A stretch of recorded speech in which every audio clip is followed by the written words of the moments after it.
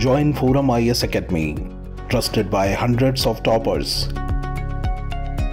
including IS Rank 1 Shruti Sharma.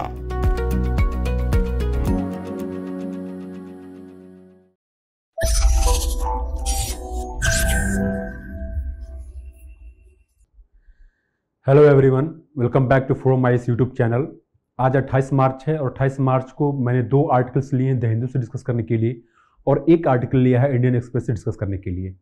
The Hindu से जो पहला आर्टिकल है, वो है डिस्कालिफिकेशन के बारे में। जो भी डिस्कालिफिकेशन के बाद क्या क्या इश्यूज़ हो रहे हैं, कुछ ग्रे एरियाज़ हैं लॉ में, जिस तरह सुप्रीम कोर्ट ने अपने जजमेंट्स दिए हैं। तो कुछ ग्रे एरियाज़ है, उसके बारे में डिस्कस करेंगे और ये भी देखेंगे कि सेक्शन एट को क्या अमेंड करके कुछ उसमें प्रावधान किया सकता है कि जो ग्रे एरियाज़ उनको रिमूव किया जा सके। ठीक है? सुप्रीम कोर्ट में भी एक पिटीशन है, उसके बारे में हम देखेंगे। जो दूसरा आर्टिकल है आज का, वो है ओशंस को लेके है। ओशंस काफ़ी क्रिटिकल होते हैं इकोनॉमिक और स्ट्रेटेजिक इंपॉर्टेंस के मामले में।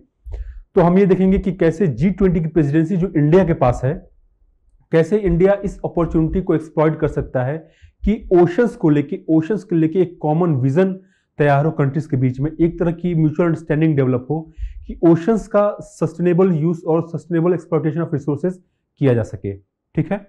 जो तीसरा आर्टिकल है आज का, ये इंडियन एक्सप्रेस से है और ये है अप्सपा के बारे में। Armed forces special protection act 1958 इसके बारे में ये देखेंगे कि अभी गवर्नमेंट ने नागालैंड, मणिपुर, आसाम के कुछ एरिया से अप्सपा को हटाया है। तो हम इसके बारे में डिटेल से देखेंगे कि अप्सपा आया क्यों था, हटाया क्यों जा रहा है, क्या इसके प्रोविजंस थे, क्या कमिटीज ने रिकमेंडेशन दिया है।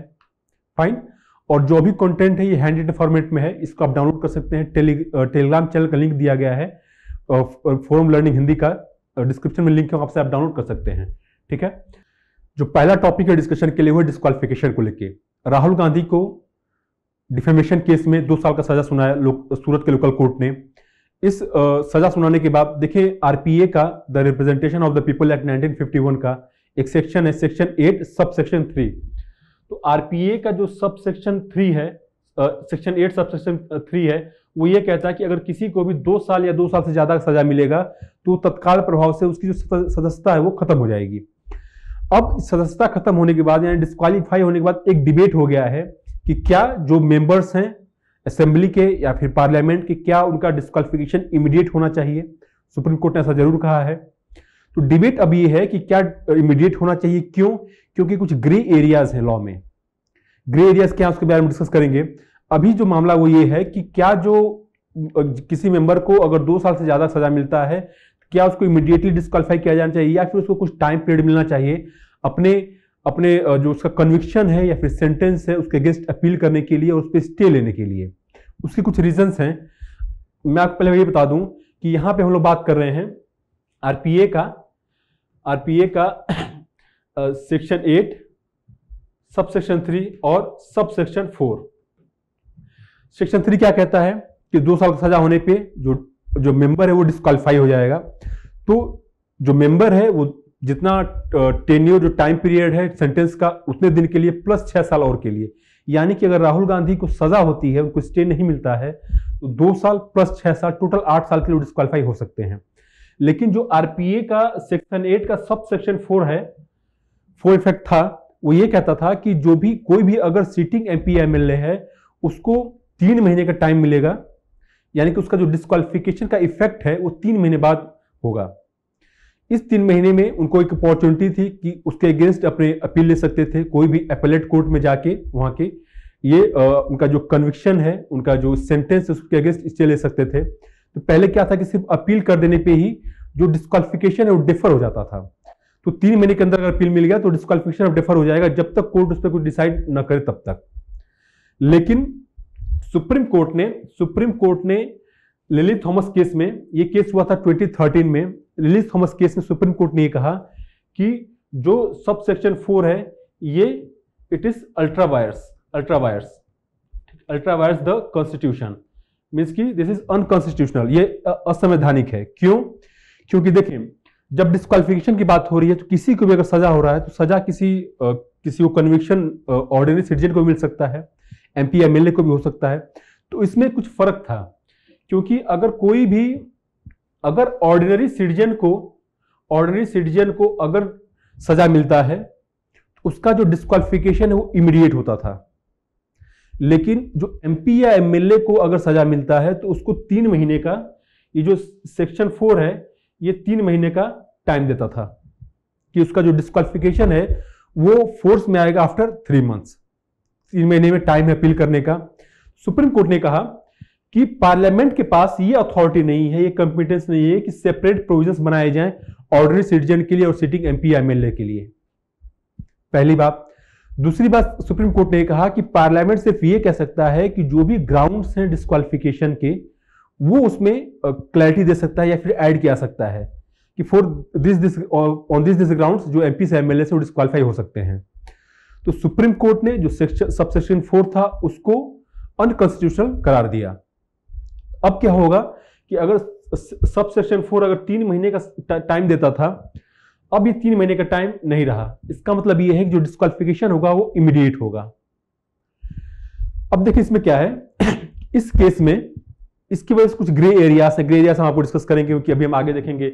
जे जे ललिता का केस और मोहम्मद फैजल का केस मोहम्मद फैजल केस अभी रिसेंट के इसी साल क्या है। तब आपको समझ में आएगा मैं कहना क्या चाह रहा हूँ यहाँ पे। लेकिन लिली थॉमस केस में गवर्नमेंट का ये रिस्पॉन्स था।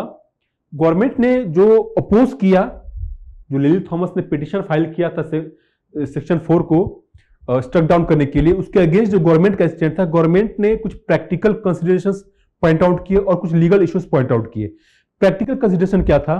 कि ऐसा हो सकता है, ऐसा हो सकता है कि जो गवर्नमेंट है गवर्नमेंट के पास एक वेफर थिन मेजोरिटी है।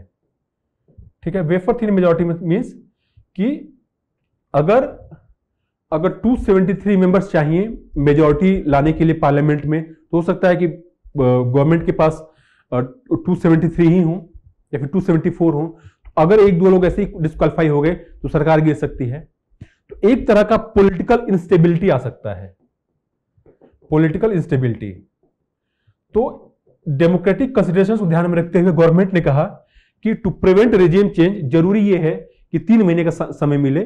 और जो मेंबर्स हैं, उनको अगर डिस्कालीफाई किया गया सेंटेंस मिला है तो उनको अपील कर पाए। फिर है कि क्या होगा अगर लेट से कि डिस्कालीफाई हो गया इमीडिएट डिस्कालिफिकेशन हो गया। अब डिस्कालीफाई डिस्कालिफिकेशन के बाद क्या होगा? कि जो इलेक्शन, जो लोकसभा है, लोकसभा सेक्रेटरीट नोटिफाई करेगा कि ये सीट खाली हो चुकी है। उसके बाद क्या होगा कि बाई इलेक्शन होंगे। इलेक्शन कमीशन की रिस्पॉन्सिबिलिटी है कि छह महीने के अंदर वहाँ पे इलेक्शन हो। बाई इलेक्शन हुए, यहाँ पे कोई और पर्सन कोई और पर्सन यहाँ से जीत के आया।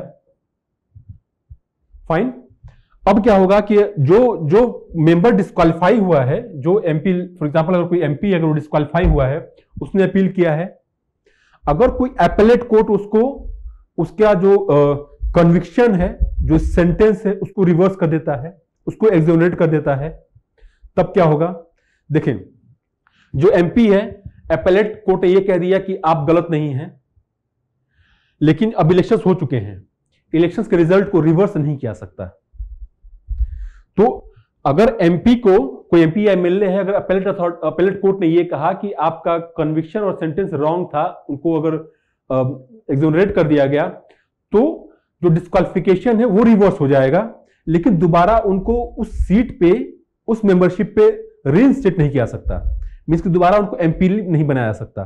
क्यों? क्योंकि अब सीट पे बाई इलेक्शन हो चुका है और वहाँ पे दूसरा कोई इलेक्ट हो चुका है ऑलरेडी तो ये इशू था। गवर्नमेंट ने यह भी कहा गवर्नमेंट ने लीगल ग्राउंड क्या दिया कि जो डिस्कालिफिकेशन कोई डिफरेंस नहीं है ऑर्डिनरी सिटीजन और सिटिंग एमपी एमएलए के बीच में सिंपली जो आरपीए है सबसेशन फोर सिंपली डेफर करता है for three months three month के लिए जो डिस्कालिफिकेशन उसको टाल देता है। डिस्कालिफिकेशन होगा, लेकिन तीन महीने के लिए नहीं होगा। लेकिन despite all ground supreme court ने सुप्रीम कोर्ट ने यह कहा कि नहीं, ऐसा नहीं होगा। क्यों? क्योंकि ऑर्डिनरी सिटीजन वर्सेस अगर कोई लेजिस्लेचर है तो इसके बीच में डिफरेंस नहीं हो सकता, ठीक है? आर्टिकल 14 का हवाला देते हुए इक्वालिटी का हवाला देते हुए सुप्रीम कोर्ट ने इस प्रोविज़न को अनकॉन्स्टिट्यूशनल करार दिया। अब देखिए क्या हुआ। सुप्रीम कोर्ट ने कुछ क्लैरिफिकेशंस दिए। एक केस हुआ फिर लोक प्रहरी केस लोक प्रहरी केस हुआ ट्वेंटी ट्वेंटी एटीन में। इसमें सुप्रीम कोर्ट ने कहा कि जो डिसक्वालिफाइड एमपीज या लेजिस्लेचर्स हैं, उनके पास ये ऑप्शन है मतलब कि रेमेडी क्या है इसका? रेमेडी ये है कि वो जाएँ अपेलेट कोर्ट में, अगर वहाँ के सेशन कोर्ट ने दिया है तो हम डिस्ट्रिक्ट कोर्ट में जाएँ या फिर हाई कोर्ट में जाएँ तो अपेलेट कोर्ट में जाएँ और वहाँ से अपने सेंटेंस पे और कन्विक्शन पे दोनों पे स्टे लेके आए। पहले क्या था कि पहले अपील हो गया पहले अपील हो गया तो डिस्कालिफिकेशन डिफर हो जाता था, टल जाता था, जब तक इस पे जो अपेलेट कोर्ट वो डिसीज़न ना ले। लेकिन सुप्रीम कोर्ट ने कहा, देखिए, किसी को भी अगर सजा सुनाई जाती है तो दो पार्ट होता है। पहला एक कन्विक्शन सॉरी पहला हाँ पहला कन्विक्शन है, ठीक है?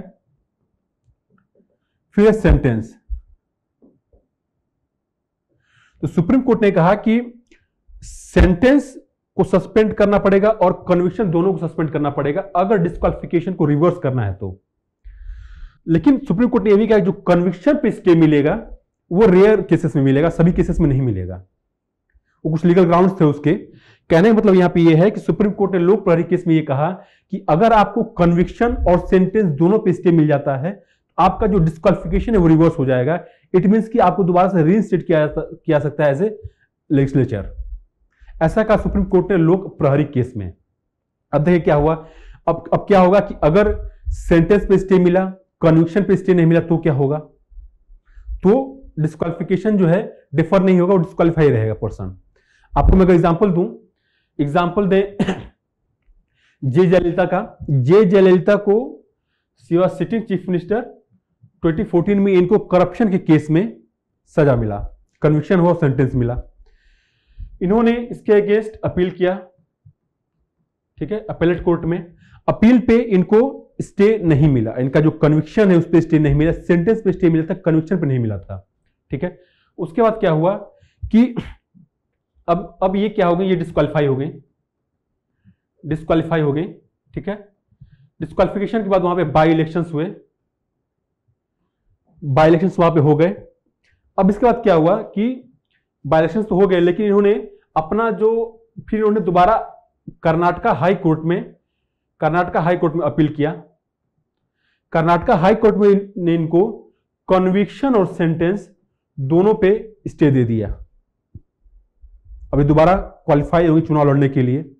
तो तब तक बीच में कोई चीफ मिनिस्टर वहाँ पे था।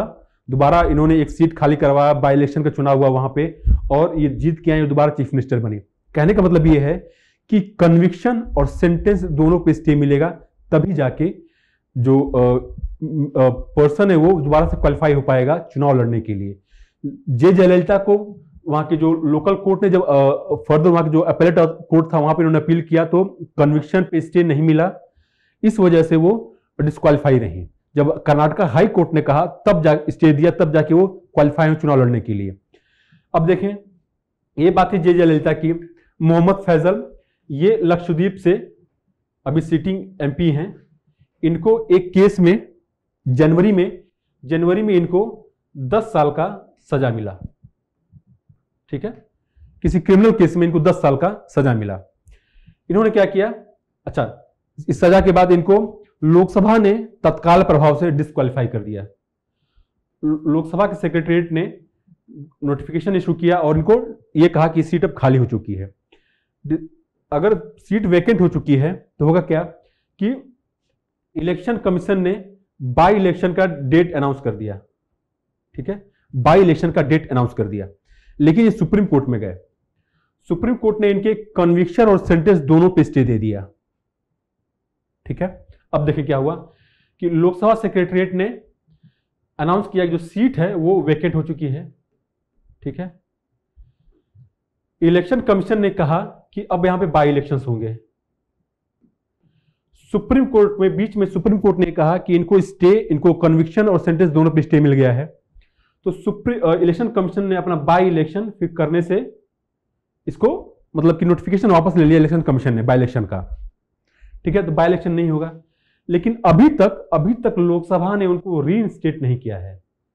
क्योंकि अगर देखें, अगर उनको मिला है स्टे कन्विक्शन और सेंटेंस दोनों पे इट मींस कि वो दोबारा क्वालिफाई हो गए हैं बीइंग फॉर्मिंग ए लेजिस्लेचर लेकिन अभी तक लोकसभा ने इनको री नहीं किया है और अगेन ये मामला सुप्रीम कोर्ट में है। क्योंकि अगर वो दोबारा क्वालिफाई हो गए हैं तो उनका जो डिस्कालिफिकेशन है वो रिवर्स हो जाना चाहिए। तो रिवर्स हो गया है बट लोकसभा ने अभी उनको रीइंस्टेट नहीं किया है और इस मामले को लेकर दोबारा सुप्रीम कोर्ट में है। अब देखिए यहाँ पे प्रॉब्लम क्या है? प्रॉब्लम यह है कि अगर अगर जनवरी में जनवरी में उनको कन्विक्शन कन्विक्ट किया गया सेंटेंस मिला तो डिस्कालीफाई हुए। ठीक है? क्यों? क्योंकि जिस दिन कन्विक्शन होगा, उस दिन से, और कन्विक्शन और डिस्कालिफिकेशन दोनों सेम डेट से ऑपरेट करता है इफ़ेक्ट में आता है। लेकिन फिर बाद में इनका डिस्कालिफिकेशन है। अब देखिए, इसके बाद स्टे मिल गया इनको। अगर स्टे मिल गया तो ये जो बीच का समय है, अगर चाहे जो भी ये कुछ पंद्रह से बीस दिन का ही समय था जनवरी, फरवरी में उनको स्टे मिला। तो ये जो पंद्रह, बीस दिन का समय है, ये इस बीच में डिस्कालीफाई थे। तो अब सवाल ये उठता है, अब सवाल ये उठता है कि can membership be restored with retrospective effect कि अब इनको स्टे मिले मिला है और डिस्कालिफिकेशन रिवर्स हो गया है। तो क्या रेट्रोस्पेक्टिव इफ़ेक्ट से जो उनका डिस्कालिफिकेशन उसको रिवर्स किया सकता है? तो ये कुछ ग्रे एरियाज़ हैं लॉ में लेक्यूना है। इस पर कुछ क्लैरिटी अभी चाहिए। और इसी रीजन से अभी तक लोकसभा ने इनको रीइंस्टेट नहीं किया है। क्योंकि मामला सुप्रीम कोर्ट में है तो सुप्रीम कोर्ट इस पर कुछ क्लैरिफिकेशन देगा। अब देखें, अब यह है कि अगर ये कुछ ग्रे एरियाज़ हैं तो without resorting to supreme court क्या पॉसिबल सोल्यूशन हो सकते हैं? कुछ प्रैक्टिकल प्रैक्टिकल वे में इस मैटर को डील किया सकता है। जी हाँ बिल्कुल सोल्यूशन है। फॉर एग्ज़ाम्पल फॉर एग्ज़ाम्पल जो सेक्रेटरिएट है लोकसभा का, वो वेट कर सकता है कुछ दिन तक। कि क्या जो पर्सन जो लेजिस्लेचर है, वो अपील करता है फर्दर और अपील स्टे न मिलने पे उसका जो डिस्कालिफिकेशन है, वो इफ़ेक्ट में लाए। मीन्स कि लोकसभा या फिर जो स्टेट असेंबली वो ये नोटिफाई करे कि चूँकि इनको अपील इनकी अपील पे स्टे नहीं मिला तो इनका जो सीट है, वो वेकेंट हो गया डिस्कालीफाई हो चुके हैं। तो सेक्रेटरीट जो है, वो वेट कर सकता है कि वो अपना स्टे लेके आए। स्टे न मिले तो उनको डिस्कालीफाई किया जाए सीट वेकेंट नोटिफाई कर दिया जाए। पहली बात। दूसरी बात यह है कि अगर उनको स्टे मिल गया तो लोकसभा उनको दोबारा से रिइंस्टेट कर दे। फिर सॉल्यूशन ये है कि देखिए, ये जो मामला है कि क्या सेक्रेटरिएट को वेट करना चाहिए तो चूँकि ये मामला अगेन सुप्रीम कोर्ट में है तो सुप्रीम कोर्ट इस पर कुछ कुछ क्लैरिफिकेशन दे सकता है। ठीक है? एक और इसमें इशू है कि जो ऑटोमेटिक डिस्कालिफिकेशन का है कि जिस दिन कन्विक्ट हुआ कोई पर्सन उसी दिन ऑटोमेटिकली उसको डिस्कालीफाई कर दिया जाएगा। तो देखिए ये ये नोटिफाई कौन करता है? लोकसभा सेक्रेटरिएट करता है। लेकिन ये सारा जो डिस्कालिफिकेशन होता है ये किस आर्टिकल के अंडर में होता है? आर्टिकल आर्टिकल 102 एमपी एमपीज के बारे में बात करता है और आर्टिकल 191 बात करता है एमएलएस के बारे में स्टेट लेजिस्लेचर के, के बारे में। लेकिन आर्टिकल 103 ये कहता है कि अगर कोई एमपी डिस्कालीफाई हुआ है तो जो लोकसभा में उसका सीट वैकेंट होना है, ये ये नोटिफाई करेंगे प्रेसिडेंट ठीक है? तो ऑटोमेटिक डिस्कालिफिकेशन की कॉन्स्टिट्यूशन में बात नहीं की गई। उसी प्रकार से जब 191 के अंडर में कोई एमएलए डिस्कालीफाई किया जाएगा तो आर्टिकल 192 में 192 में यह कहा गया है कि जो गवर्नर है गवर्नर फाइनल नोटिफाई करेगा ये जो सीट है वो वैकेंट हो चुकी है और this particular person has been disqualified for being a member of state assembly तो ग्रे एरियाज़ क्या हैं? कन्विक्शन इमीडिएट डिस्कालिफिकेशन फिर स्टे मिलना, उसके बीच का क्या है? कि क्या जो डिस्कालिफिकेशन है उसको रिवर्स किया सकता है फ्रॉम रेट्रोस्पेक्टिव इफ़ेक्ट क्या जो लोकसभा सेक्रेटरीट है या फिर असेंबली सेक्रेटरिएट उसको वेट करना चाहिए? जो मेंबर है, जो sitting M P M L A है, वो वो फर्दर अपील करे। फर्दर अपील कर अपील न मिलने पे वो, नोटिफाई करे कि ये पर्टिकुलर सीट वैकेंट हो चुकी है। और अगर उसको स्टे मिल जाता है तो इमीडिएटली उसका जो मेंबरशिप उसको रिस्टोर किया जाए। जो ऑटोमेटिक डिस्कालिफिकेशन की कॉन्स्टिट्यूशन में बात नहीं किया गया है तो ये नोटिफाई करना होता है प्रेसिडेंट को और गवर्नर को। तो जैसे कॉन्स्टिट्यूशन में कहा गया वैसा ही हो। लेकिन अभी क्या हो रहा है कि लिलित थॉमस केस के बाद जो स्टेट असेंबलीज हैं पार्लियामेंट है वो नोटिफाई करते हैं कि इमीडिएट डिस्कालिफिकेशन को लेके। अभी देखें, आज़म खान का केस हुआ था यूपी में लास्ट ईयर वहाँ पे भी असेंबली ने तत्काल प्रभाव से उनको डिस्कालीफाई कर दिया। गवर्नर का कोई रोल नहीं आया उसमें। तो ये भी कुछ एरियाज़ हैं। जो दूसरा टॉपिक है आज का, वो है ओशंस को लेके। जी ट्वेंटी की प्रेसिडेंसी इंडिया के पास है और सभी कंट्रीज़ जो भी जी ट्वेंटी कंट्रीज़ हैं, सभी ये प्रयास कर रही हैं कि उनका जो ब्लू इकोनॉमी है, वो डेवलप हो एक्सपैंड हो। ज़रूरी ये है कि ये इंडिया के पास अपॉर्चुनिटी है कि कैसे जी ट्वेंटी प्लेटफॉर्म को यूज़ करके ओशंस के सस्टेनेबल डेवलपमेंट के लिए एक कॉमन विजन तैयार किया सकता है। कॉमन कोड ऑफ़ कंडक्ट तैयार किया सकता है। तो जिसके, जिन कंट्रीज़ के पास भी ओशंस हैं ओशंस को कहा जाता है डोर टू प्रॉस्पेरिटी क्यों? क्योंकि ओशंस का दो सिग्निफिकेंस है। पहला सिग्निफिकेंस है इकोनॉमिक दूसरा सिग्निफिकेंस है स्ट्रेटेजिक आप देखें कि कोई भी कंट्री है या फिर आप इंडिया की ही बात करें इंडिया में कोस्टल स्टेट्स हैं हिंटरलैंड स्टेट्स हैं, जो इकनो लेवल ऑफ़ इकोनॉमिक डेवलपमेंट है पर कैपिटा इनकम है तमिलनाडु का कर्नाटका का महाराष्ट्र का, वो कहीं ज़्यादा है, बिहार यूपी से, जो हिंटरलैंड स्टेट्स हैं। तो जो कोस्टल एरियाज़ होते हैं, उनके पास अपॉर्चुनिटी होती है इंटरेक्ट करने का फ्रॉम द आउटसाइड वर्ल्ड वो ट्रेड अच्छे से कर सकते हैं, जो ओशन रिसोर्सेस होते हैं, उनको यूज़ करके अपने यहाँ इकोनॉमिक डेवलपमेंट कर सकते हैं। पहली बात है इकोनॉमिक प्रोस्पेरिटी दूसरी बात स्ट्रेटेजिक सिग्निफिकेंस इनका। जो भी कोस्टल कंट्रीज़ हैं, उनके पास ये अपॉर्चुनिटी होती है कि अपना जो पावर है, वो बायोन नेशनल बाउंड्रीज प्रोजेक्ट कर सकती हैं। तो यूके ने यूके का यूके के पास कॉलेज पूरी दुनिया भर में थी। आज डेट में यूएस का जो मिलिट्री बेस है तमाम एरियाज़ में है। तो ऐसा इसलिए है क्योंकि उनका खुद का कोस्ट लाइन है और वो अपनी नेवीज डेवलप कर सकती हैं। नेवीज डेवलप होगी तो power projection beyond coastal areas हो सकता है। तो दो सिग्निफिकेंस है इकोनॉमिक और स्ट्रेटेजिक तो जी ट्वेंटी की हम बात इसलिए कर रहे हैं, क्योंकि जो जी ट्वेंटी कंट्रीज़ हैं, दुनिया भर का जो कोस्टलाइन है, उसका 45 परसेंट कोस्टलाइन इनका है। सभी का अगर ऐड करें हम जी ट्वेंटी कंट्रीज़ का कोस्टलाइन तो almost 45 percent of the entire world coastline इनके पास है। 21 परसेंट एक्सक्लूसिव इकोनॉमिक जोन इनके पास है। एक्सक्लूसिव इकोनॉमिक जोन क्या होते हैं? कि अगर फॉर एग्ज़ाम्पल अगर ये इंडिया है इंडिया का पेंसुलर एरिया है ये तो ये कोस्ट है, और यहाँ से आप 200 नॉटिकल माइल्स 200 नॉटिकल माइल्स आगे जाएँ तो जो ये रीजन होगा मीन्स की कोस्ट से लेकर 200 नॉटिकल माइल्स तक का जो रीजन होता है, उसको बोलते हैं exclusive economic zone exclusive economic zone में कोई भी कंट्री अगर के पास है ये जोन तो उस रीजन में, उस एरिया में जो भी इकोनॉमिक रिसोर्सेज हैं, उनके ऊपर इनका राइट्स होता है। वो उसको एक्सप्लॉइट कर सकते हैं, अपने डेवलपमेंट के लिए यूज़ कर सकती हैं। ठीक है? तो ओशंस का ओशंस का सिग्निफिकेंस कई तरह से भी है। इकोनॉमिक मैंने आपको बता ही दिया। फिर है कि ग्लोबल बायोडाइवर्सिटी में तो धरती पे लैंड पे लैंड पे जितना बायोडाइवर्सिटी नहीं उससे कहीं ज़्यादा ओशंस में है। दोनों फ्लोरा और फाउना के केस में भी। ठीक है? जो ओशंस हैं, वो ग्लोबल वेदर को भी रेगुलेट करते हैं। कैसे? देखिए ओशंस एक तो ये है कि सबसे सेवेंटी परसेंट एरिया ऑक्यूपाई करते हैं अर्थ का। तो सबसे ज़्यादा जो क्लाइमेटिक और वेदर इवेंट्स है, वो ओशंस पे होते हैं। दूसरी बात ये है कि जो ओशंस होते हैं, वो सबसे ज़्यादा सीओ टू एब्जॉर्ब करते हैं। तो जो भी ग्रीन हाउस गैस एमिशंस होता है, उसका सबसे ज़्यादा एब्जॉर्प्शन सीओ टू का ओशंस करते हैं। तो कहीं ना कहीं जो ग्रीन हाउस गैसेस का इफ़ेक्ट है, उसको मिटिगेट करते हैं। लेकिन उसकी वजह से वहाँ पे ओशन वार्मिंग भी हो रहा है। उसका अलग चैलेंज है। कहने का मतलब यह है कि ओशंस का इंपॉर्टेंस बायोडाइवर्सिटी के कॉन्टेक्स्ट में भी है इकोनॉमिक डेवलपमेंट के कॉन्टेक्स्ट में भी है और ग्लोबल क्लाइमेट चेंज के कॉन्टेक्स्ट में भी है। इसी को ध्यान में रखते हुए सभी कंट्रीज़ ने अपना अपना एजेंडा तैयार किया है ओशंस को एक्सप्लॉइट करने का या फिर ओशंस को डेवलपमेंट को लेके। इंडिया ने इंडिया ने कई सारे स्कीम्स पिछले कुछ सालों में लाए हैं। सबसे जो इंपॉर्टेंट स्कीम इंडिया का, वो है सागरमाला। सागरमाला का ऑब्जेक्टिव है पोर्ट रिलेट डेवलपमेंट ठीक है? पोर्ट रिलेट डेवलपमेंट एक एक तरह का एक अर्बन पोर्ट सिटी बनाया जाए, जो भी कनेक्टिविटी दिया जाए, वहाँ पे इन्वेस्टमेंट आए इन्वेस्टमेंट एक्सपोर्ट पर्पज के लिए आए तो इस तरह का ऑब्जेक्टिव सागरमाला का। फिर ship building financial assistance policy इसका ऑब्जेक्टिव यह है कि डोमेस्टिक शिप बिल्डिंग इंडस्ट्री को प्रमोट किया जाए। डोमेस्टिक शिप बिल्डिंग इंडस्ट्री को प्रमोट किया जाए। ठीक है? फिर है प्राइम मिनिस्टर मत्स्य संपदा योजना। इसका ऑब्जेक्टिव यह है कि एक रेस्पॉन्सिबल और सस्टेनेबल वे में फिशरीज सेक्टर को डेवलप किया जाए। फिशरीज सेक्टर को। इसमें जो फिशर फोक्स हैं, उनके भी वेलफेयर की बात होती है। फिर है डीप ओशन मिशन इसका ऑब्जेक्टिव यह है कि यहाँ पे जो deep resources deep sea resources हैं डीप सी रिसोर्सेस उनका एक्सप्लोइट किया जाए, ठीक है?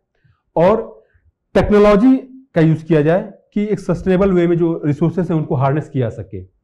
तो इसमें रिसोर्सेस को एक्सप्लोइट करने की भी बात होती है और टेक्नोलॉजी डेवलपमेंट की भी बात होती है यहाँ पे। फिर फिर है कोस्टल रेगुलेशन जोन। तो जो भी कोस्टल एरियाज़ इकोलॉजिकली सेंसिटिव हैं, वहाँ पे डेवलपमेंट रेगुलेट करने के लिए गवर्नमेंट ने लाया coastal coastal regulation zone notification. फिर है plastic waste management rules. Government of India ने 2021 में सिंगल प्लास्टिक को, सिंगल यूज़ प्लास्टिक को बैन कर दिया। बैन क्यों कर दिया? क्योंकि इसका सबसे ज़्यादा इंपैक्ट ऑफकोर्स लैंड लैंड के लिए तो था ही, लेकिन प्लास्टिक का सबसे ज़्यादा इंपैक्ट आज की डेट में ओशंस पे हो रहा है। तो बड़ा प्लास्टिक का अंबार तो है ही ओशंस में, सबसे ज़्यादा चैलेंज हो गया माइक्रो प्लास्टिक्स का, क्योंकि उसको फ़िश भी कंज्यूम करते हैं फ़िश को ह्यूमन कंज्यूम करते हैं तो एक साइकिल की तरह घूम फिर के प्लास्टिक इंसान की बॉडी में आ जाता है। तो गवर्नमेंट ने ओशन से रिलेटेड जो इकोनॉमी है, उसको डेवलपमेंट के लिए भी इंतज़ाम किया है। जो ओशन से रिलेटेड लोग हैं स्टेक होल्डर्स हैं, उनकी भी केयर की बात की गई है। और कैसे एक एक जो फ्रेगाइल कोस्टल एरियाज़ हैं, उनको कैसे प्रोटेक्ट किया जाए, सबकी बात की गई है इसमें। अब देखिए जी ट्वेंटी जी ट्वेंटी जो है जी ट्वेंटी पे अलग अलग वर्किंग ग्रुप्स होते हैं।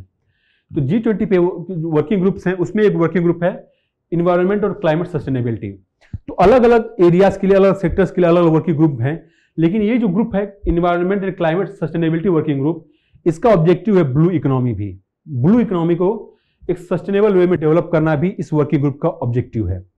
अब देखिए, इसमें क्या होगा कि कुछ प्रिंसिपल्स डेवलप किए जाएँगे प्रिंसिपल डेवलप किए जाएँगे कि जो हेल्प करेंगे sustainable use and equitable economic development of equitable economic development through oceans through oceans and its resources ठीक है?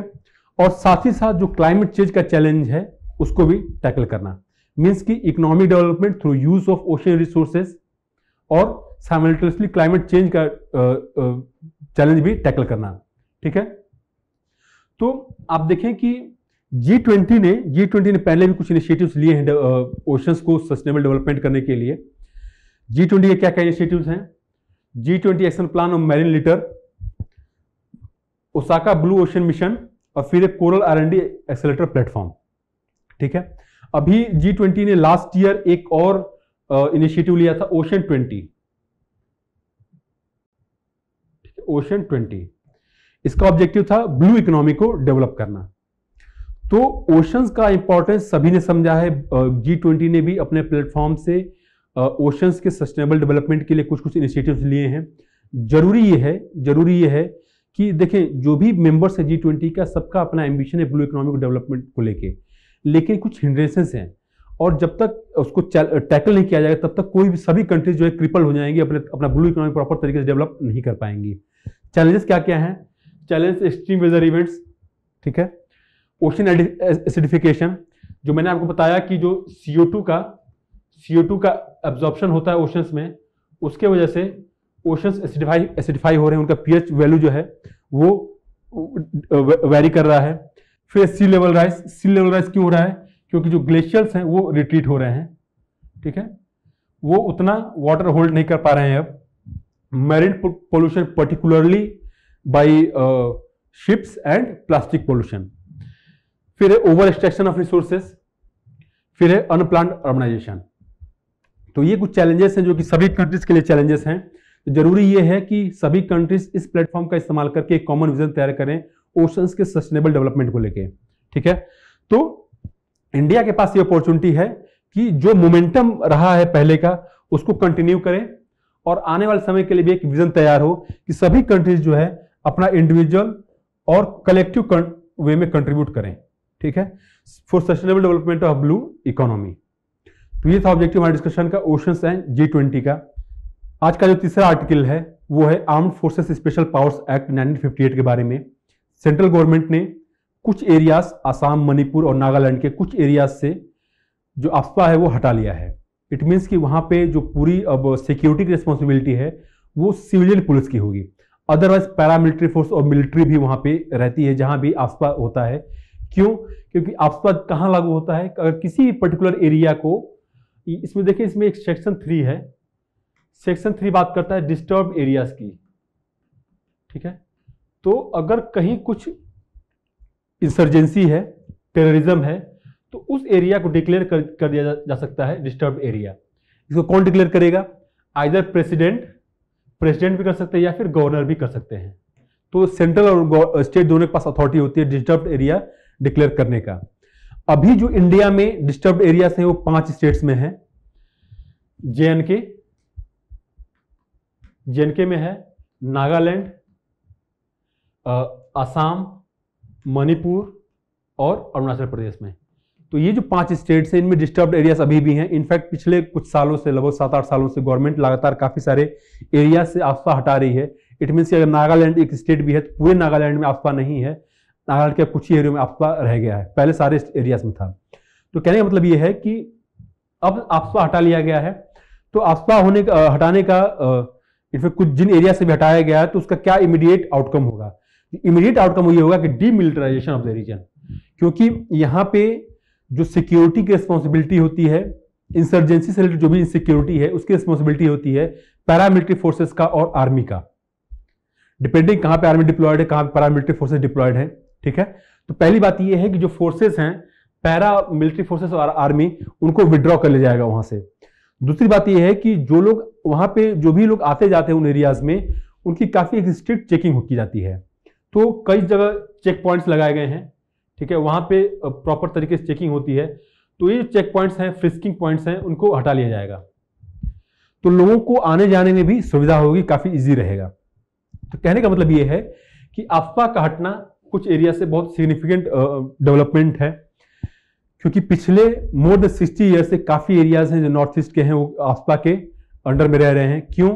क्योंकि देखें वहाँ पे इंसर्जेंसी है और इंसर्जेंसी की वजह से जो लोकल पुलिस है सिक्योरिटी सिचुएशन को हैंडल नहीं कर पाती, इसीलिए बाकी सारी फोर्सेस को बुलाया जाता है वहाँ पे। और इससे क्या होता है कि हमेशा एक डर का माहौल पैदा रहता है। क्यों? क्योंकि जो आसपा पावर देता है फोर्सेस को, बहुत ही स्वीपिंग पावर होता है। ठीक है? बहुत ही स्वीपिंग पावर होता है कि जो कि नॉर्मल सिविलियन पुलिस के पास नहीं रहता है। जो एक्टिविस्ट उनका कहना यह है कि ये एक ड्रेकोनियन एक्ट है, ठीक है? ड्रेकोनियन एक्ट है क्योंकि इसकी वजह से लोगों में एलिनेशन सबसे ज़्यादा हो रहा है। उसको देखें क्यों हो रहा है एलिनेशन आगे चल के। तो कहने का मतलब ये है कि आसपास को हटा लिया गया है, उसके रीजन क्या है? रीजन है इंप्रूव सिक्योरिटी सिचुएशन तो सिक्योरिटी सिचुएशन इंप्रूव कैसे हो रही है? काफ़ी सारे जो इंसर्जेंट्स हैं उनके साथ नेगोशिएशन चल रहे हैं। रिकॉन्सिलेशन हो रहा है तो अपने जो आर्म्स है वो ले डाउन कर देते हैं अपने हथियार डाल देते हैं या फिर पॉलिटिक्स का हिस्सा हो जाते हैं एक पॉलिटिकल मेन स्ट्रीम में पार्टिसिपेट कर, करते हैं वो या फिर नेगोशिएट करके वो एक पीसफुल वे में अब रहना चाहते हैं। कहने का मतलब ये है कि सिक्योरिटी सिचुएशन इंप्रूव हो रहा है।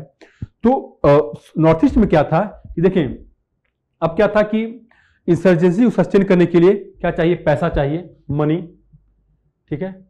मनी चाहिए, आर्म्स चाहिए।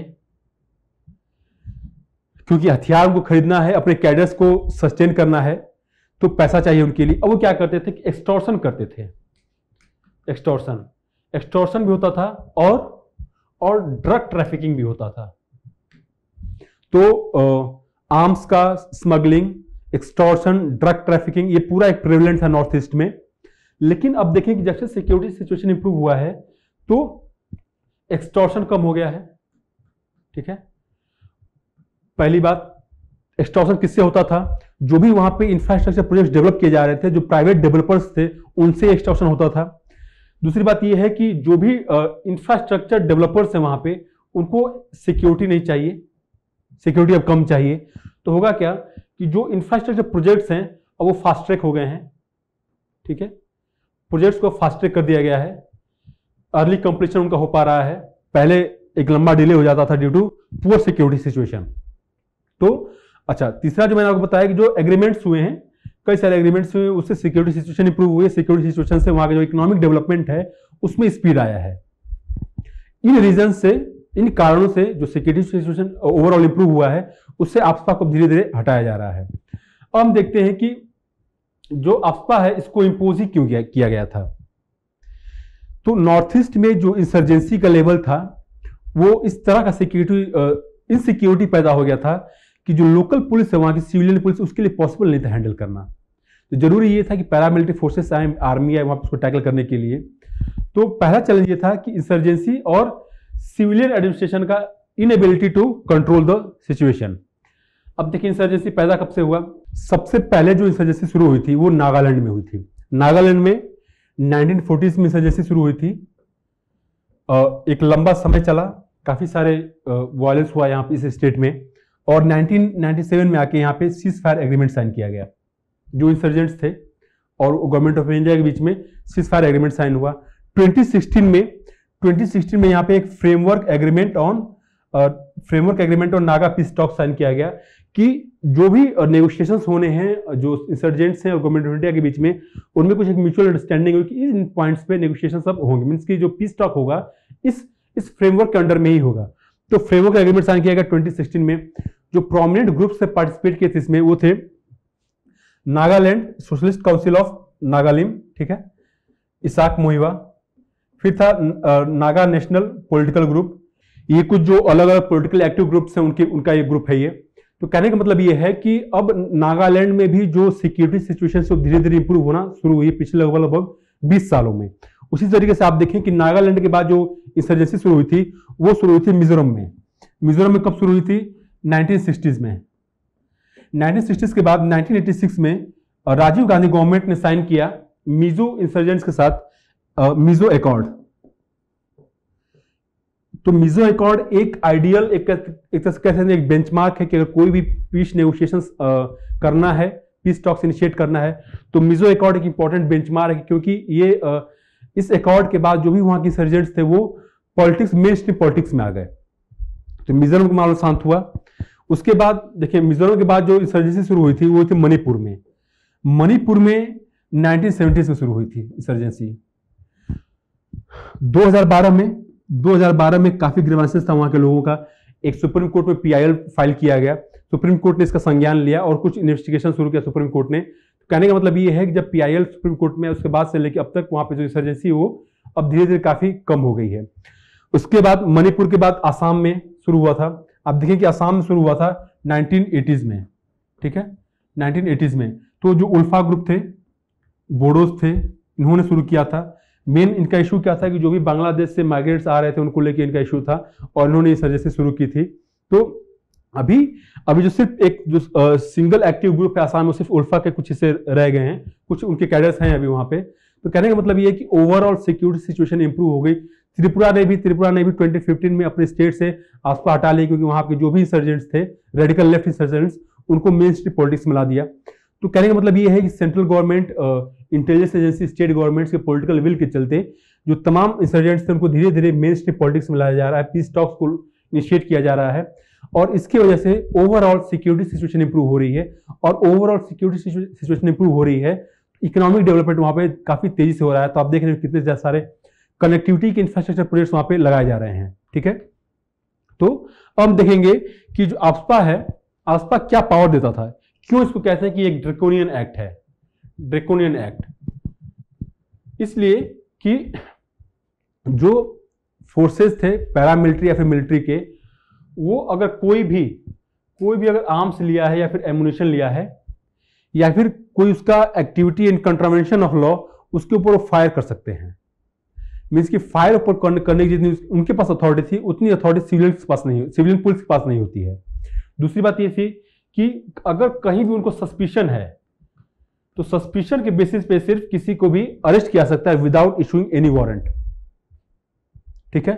तो फायर करने की अथॉरिटी विदाउट वारंट अरेस्ट करने की अथॉरिटी फिर था कि किसी के भी घर को किसी के भी प्रीमाइसिस को सर्च कर सकते थे without again without any warrant तो काफ़ी शिकायतें थी इसको लेके आसपा को लेके लेकिन कुछ चेक बैलेंस भी था। हालाँकि चेक बैलेंसेस को काफ़ी आ, उस टर्म्स में फॉलो नहीं किया सकता जिसे, जैसे उनको एक्सपेक्ट किया जा रहा था। फॉर एग्ज़ाम्पल कैसा क्या गया था कि अगर आप फायर ओपन कर रहे हैं तो आपको प्रायर वार्निंग देनी पड़ेगी, ठीक है? अगर आप किसी को किसी को अरेस्ट कर रहे हैं तो with in twenty four hour जो लोकल पुलिस है, उसको हैंड ओवर करना होगा। फिर था कि जो आर्म फोर्सेस हैं, उनको डिस्ट्रिक्ट एडमिनिस्ट्रेशन के साथ डिस्ट्रिक्ट एडमिनिस्ट्रेशन के साथ एक कोऑपरेशन में अपनी एक्टिविटी करनी कंडक्ट करनी पड़ेगी। तो कुछ चेक बैलेंस ज़रूर था, लेकिन फिर भी काफ़ी वायलेंस के केसेस वहाँ पे हो रहे थे। कई बार एलिगेशन लग रहे थे, जो आर्म फोर्सेस थे, उनके ऊपर भी वायलेंस केसेस लग रहे थे। ठीक है? तो यहाँ पे क्या था कि, देखिए, जो एक्सपर्ट्स हैं, उनका कहना यह है कि जितना ये पावर मिला था आर्म फोर्सेस को, इसकी वजह से क्या हुआ? देखिए, अगर हम नागालैंड की बात करें तो नागालैंड में जो मूवमेंट था मूवमेंट पीसफुल था। ठीक है? मूवमेंट पीसफुल था। अब सिक्योरिटी फोर्सेस डिप्लॉय करने से क्या हुआ कि वहाँ एलिनेशन वालों के बीच में जो एक पीसफुल मूवमेंट था नागालैंड के लिए ग्रेटर नागालैंड के लिए तो उसको रिस्पॉन्ड किया गवर्नमेंट ने सिक्योरिटी के साथ। लोगों में एलिनेशन हुआ तो एलिनेशन से क्या हुआ कि जो उनके अंदर नेशनलिज्म था, वो फर्दर और स्ट्रेंथन हो गया। और ज़्यादा उनके अंदर जो नागालैंड को लेके डिमांड और ज़्यादा बढ़ गई, ठीक है? तो वहाँ पे जो नेशनलिज्म था वो बढ़ गया। फिर जो इस तरह से करके सभी स्टेट्स में अलग अलग रीजन था, ठीक है? एक्स्ट्रा जुडिशियल क्लिंस थे वहाँ पे। अगर हम बात करें मणिपुर में 2012 में जो पीआईएल फ़ाइल हुआ था सुप्रीम कोर्ट में पीआईएल में ये कहा गया था कि जो फेक इनकाउंटर्स हुए हैं, वो हुए हैं 1528 ये कब हुए हैं? 1979 79 और 2012 के बीच में फेक इनकाउंटर्स हुए हैं। सुप्रीम कोर्ट ने क्या किया कि छह सैंपल केसेस इसमें से उठाए और उसको इन्वेस्टिगेट करवाया। और छह के छह केसेस मिले कि ये फेक इनकाउंटर्स थे। तो कहीं ना कहीं कहीं ना कहीं स्टेट की तरफ़ से भी जाती थी और उसकी वजह से लोगों में स्टेट से एलिनेशन हो रहा था, ठीक है? इंसर्जेंट्स के लोग लेके लोगों के अंदर सिंपैथी थी। तो यहाँ पे अब क्या हुआ कि कई कई सारे अटेम्प्ट किए गए कि जो आपका है उसको डायल्यूट किया जाए, उसको रिपील किया जाए, उसको हटाया जाए। सिविल सोसाइटी ने काफ़ी इसका अपोज किया। फॉर एग्ज़ाम्पल अगर आप नाम सुना होगा आयरम शर्मिला का इन्होंने, ये मणिपुर की महिला हैं, और इन्होंने 2000 से लेकर अपना फास्ट शुरू किया आपदा को हटाने के लिए, और ये अगले अगले 16 साल तक 2006 16 में इन्होंने आके अपना hunger strike hunger strike break किया। ठीक है? तो इसी कॉन्टेक्स्ट में जस्टिस रेड्डी कमिटी बैठाई गई। जस्टिस रेड्डी कमेटी बैठाई गई आपसा को रिव्यू करने के लिए। रेड्डी कमेटी ने कहा कि ये जो एक हाईली डिजायरेबल एक्ट है, ठीक है? और एक सिंबल है, it is symbol of operation. ठीक है? अफ्पा act is a symbol of operation in the north east इस कमिटी के रिकमेंडेशन को सेकेंड एआरसी ने इंडोर्स किया। बाद में जो ministry minister of home affairs थे उस समय पी चिदम्बरम उन्होंने भी कहा कि आपस्पा को कंप्लीटली रिपील तो नहीं किया सकता, लेकिन उसको अमेंड करके उसके जो हार्श प्रोविज़न है उनको डायल्यूट किया सकता है।